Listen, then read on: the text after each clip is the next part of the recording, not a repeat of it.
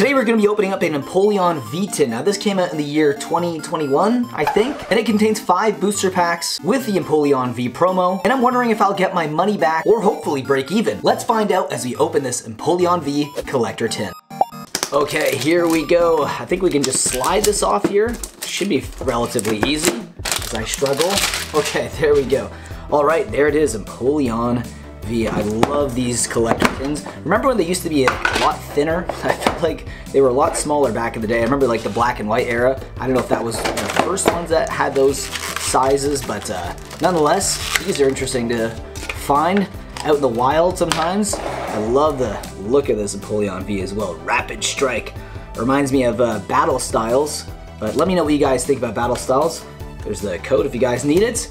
All right, oh boy, let's see we got, ooh, wow, okay. That's a surprise. We got a Sword and Shield, regular base set card. Sword and Shield Darkness Ablaze, another great set. Wow, two really good sets. Vivid Voltage, not bad. Battle Styles, uh, yeah, the last two Battle Styles, maybe not the best. Why don't we start off with Battle Styles, because that's my least favorite of the packs that we have to open up today. So let's crack into this and see what we get. Hopefully we get something nice here. Okay, let's see. I'm not even gonna do the pack trick for this one, but we do get a V. Uh, Corviknight V, very, very nice. Okay, so we are doing pretty good so far. We have one Ultra Rare in our first pack, and there is the code card for you. Next Battle Styles pack right here. Let's go, come on.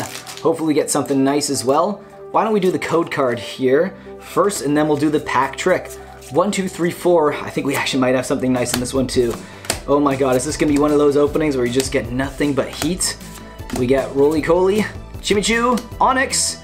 Reverse is a Bellsprout with, nope, just the regular foil Kingdra, but that actually looks pretty nice. And it's gonna be Vivid Voltage, let's go, come on. I hope we get some good luck here. I'm not gonna reveal what the back of this code card is, but there you go. You guys can get it right there if you want.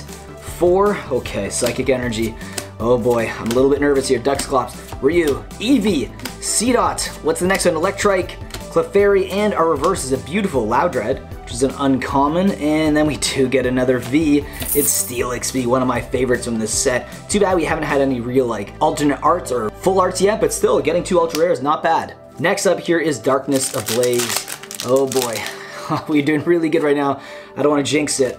I don't want to jinx it because this is uh, one of the sets you really can get some bangers in. So, oh boy, can we get a Charizard? That'd be really nice. That would be really nice. Come on, Fletchling, Wimpod, Talonflame, which actually is a reverse foil. Not bad, it's a reverse rare foil, and then we get Melmetal. Oh no! We have one more pack though here. Sword and Shield, the original base set. What are we gonna get out of here? Okay, here we go. Code card, I think we have something here, guys but it might just be a regular V because I think I did see something in the back and it wasn't the code card. Okay, Sobble, Minccino, Ponyta, and we have Salandit with a Goldeen reverse, okay, and it, oh my god, never mind. This might, no way. No way. I think this is a full art. This might even be alternate art. Oh, got a Zacian V. So this is the full art, not an alternate art, but not bad. Definitely the best pull we've had so far in this video. And it was the last pack to make things even more nice. Wow, guys, that was incredible. Let me know what you think about this video down below in the comment section. Do you think it was a waste of money to buy this? I don't think so. We got some nice ultra rares, but nothing really incredible, unfortunately. But anyways, I'll see you guys in the next one.